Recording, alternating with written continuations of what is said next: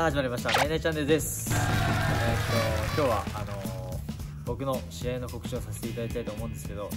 えー、次戦3月12日、えー、代々木第一体育館にて開催されるケーズフェスタ、あの出場することが決まってます、えー、対戦相手はヨーシラ・チョーハーパヤの選手なんですけど、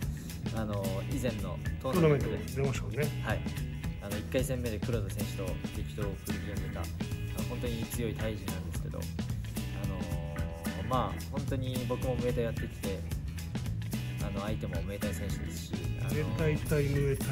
そうですね。はい。まあ、向こうはどう戦ってくるか分かんないですけど、まあ、僕はムエタイファイターでもあり K1 ファイターでもあるのであのどっちもいいとこを取ってあ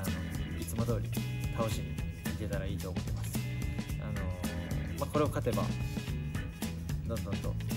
その先のことが見えてくると思うので必ずこれはもう何も言わせないぐらいに完封して勝ちたいなと思ってます、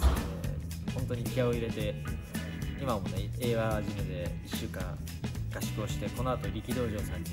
あのー、合宿にも行くんですけど、あのー、本当に気合を入れて